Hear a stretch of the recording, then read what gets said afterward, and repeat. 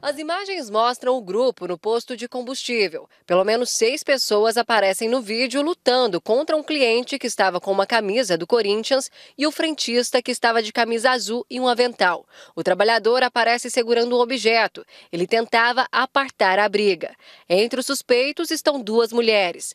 Toda a confusão aconteceu em um posto de combustível do setor Bueno, por volta das 10 horas da noite da segunda-feira. Segundo testemunhas, o objetivo dos criminosos era retirar a camisa de time do cliente. Eles já tinham saído do jogo e foram até o posto abastecer as motos. Viram um indivíduo com a camisa de uma torcida rival, de, de outra torcida, tentaram agredir esse homem, tomaram sua camiseta e o frentista foi apenas intervir, foi apenas separar essa briga. E o que ocorreu foi que o frentista foi o que mais é, apanhou, machucou e teve lesões extremamente graves. Luiz Gustavo Ribeiro da Silva Paixão foi atingido por inúmeros golpes de capacete na cabeça.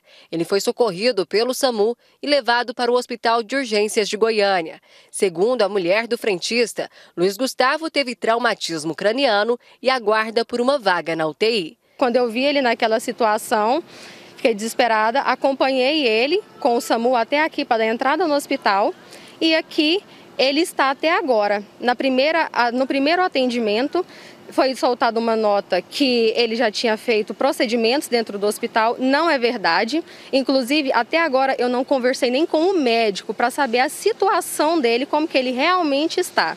O homem que estava com a camisa do Corinthians também teve cortes na cabeça e outros ferimentos pelo corpo, mas foi socorrido e liberado. A polícia militar já identificou os suspeitos e prendeu um homem que estaria se preparando para fugir. Nós conseguimos pegá-lo no momento em que ele já estava se evadindo com mochila, com roupas, ou seja, ele realmente ia tentar fugir. Esse indivíduo aí, cumpre ressaltar que ele já tinha passagem criminal, responde pelo crime de roubo e agora mais essas duas passagens criminais, ou seja, um indivíduo aí contumaz na vida do crime. Luiz Gustavo trabalha no posto há oito meses e, segundo a mulher dele, o frentista era o único funcionário do lugar na hora da confusão. O casal tem dois filhos pequenos. Aflita, ela espera que o marido consiga o atendimento necessário logo e que todos os envolvidos na confusão sejam presos. Os meus filhos estão desesperados, querendo saber a notícia do pai. Eu também estou, porque eu estou aqui desde as 11 horas da noite de ontem, sem saber notícia. E eu quero notícia e justiça.